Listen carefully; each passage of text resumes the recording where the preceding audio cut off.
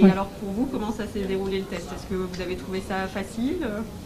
Sans, bah, j'ai déjà été tellement opérée que ça c'est banal. hein. Ça ne m'a pas traumatisé. Et vous, monsieur?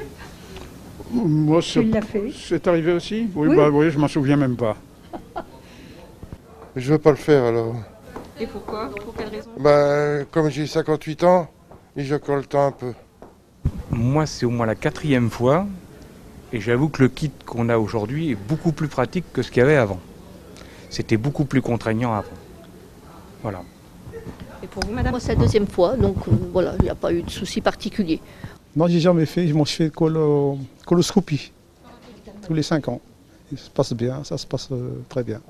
Ma femme elle l'a fait et ça s'est bien passé. ouais. Et donc, comment ça s'est déroulé? Est-ce qu'elle a trouvé ça facile, simple? C'était facile, c'est facile, c'est bien indiqué. Coloscopie tous les trois ans. Euh, euh, suffisamment parlant pour euh, que j'ai pas de, complications euh, suite aux polypes que j'ai en fait euh, régulièrement. Voilà. Donc efficace. Non, je viens d'avoir 50 ans juste maintenant, donc je vais le faire.